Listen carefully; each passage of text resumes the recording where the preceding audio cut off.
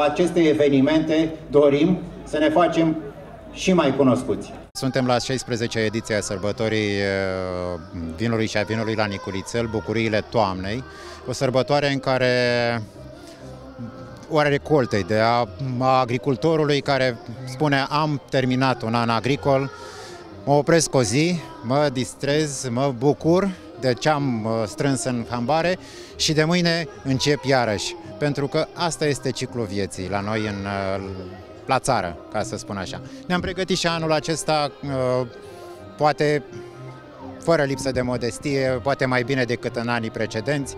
Avem uh, alături de noi, uh, printr-un parteneriat, și Consiliul Județean Tulcea, care uh, ne-a sprijinit uh, pentru a face sărbătoarea aceasta mai bună, mai frumoasă decât în anii precedenți. Atâta timp cât uh, a ajuns la 16 ediție, ne dăm seama că este o sărbătoare destul de serioasă, și am ales să fim parteneri în acest proiect serios al primăriei Niculițel. Contribuția Consiliului Județean nu este foarte mare, aproximativ 25.000 de lei. În schimb, este binevenită. Tot timpul am fost alături de comunitatea Niculițel, tot timpul primarul și viceprimarul au avut ușa deschisă la noi la Consiliul Județean, la fel cum au și celelalte, celelalte localități. Am văzut că ați uh, trecut așa pe lângă standul de unde se degusteau plăcintele. Ce v-a atras atenția în mod deosebit? Cred că cea mai bună plăcintă a fost aceea cu trufe și cu, cu castane. Foarte, foarte bună, delicioasă. Originală pentru mine e cea din trufe cu castane. Deci o fac pentru prima dată anul acesta. Se fac foile, se călește un picuț de ceapă, dar foarte puțin. Se pun uh, acele castane care sunt deja ferte în prealabil și răzuite. Punem deci trufa care deja e pusă la macerat în ulei de măsline pentru că așa se păstrează și băga la congelator, pui condimente. Eu de obicei nu pun prea multe pentru ca să primeze trufa. Și le răsucești, le răsucești, le pui în formă de mel, ei, și le pui și le bagi la foc. Și ai grijă să ai un foc foarte bun, pentru că o plăcită bună trebuie să ai un aragaz bun. Mama dragă, să zic 20-30 de minute cuptorul și ai să zic încă 15 minute, ai 40 de minute. Plăcinta vărzar, așa se numește. De ce se cheamă vărzar? Păi pentru că are, așa este denumirea. Deci nu are varză în ea. La noi, nu are. Nu, nu are varză, dar așa se, din legume, cum se face și din cartofi și din varză murată, bineînțeles, dar asta este tradițională. Bunicii mei și părinții mei cu asta se hrăneau prima dată când ieșea primăvara și ieșea ceapa verde și cu mărarul se făcea foarte mult.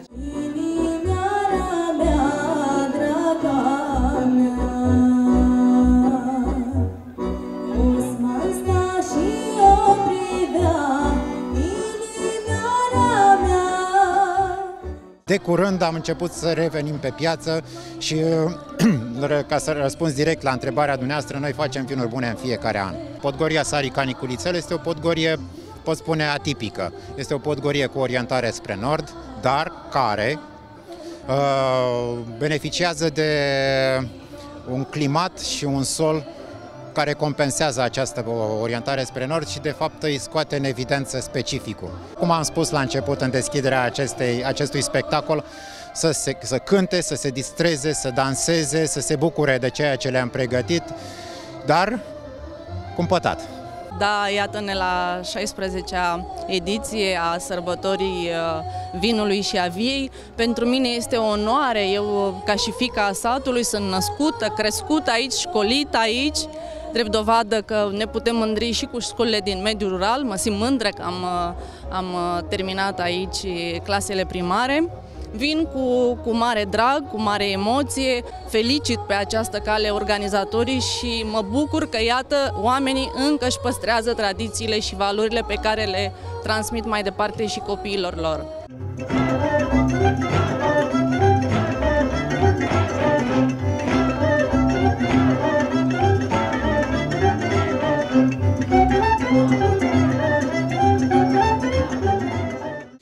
Ce reprezintă ei în cadrul coregrafiilor este o suită interpretată și intitulată La Cules. Este o tradiție locală în care este specificat uh, sârguința cu care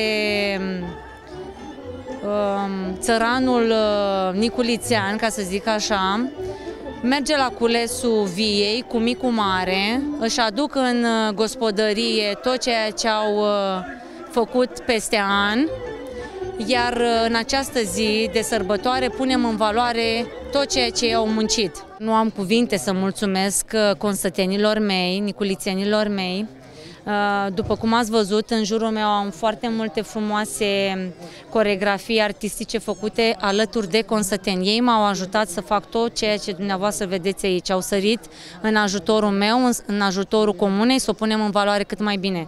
Le mulțumesc pe această cale și îmi doresc ca în fiecare an să fie alături de mine pe latura aceasta culturală și nu numai.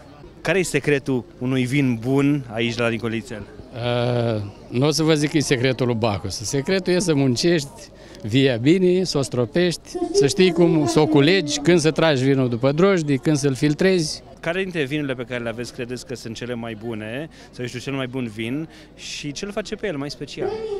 Uh, am vin de aligotei într-un cupaj cu otonel. Procent 80% aligotei, 20% e, otonel. Și cât vin scoateți uh, în fiecare an? Două tone, două tone și depinde de an. Anul ăsta a bătut piatra, am scos la 1,800.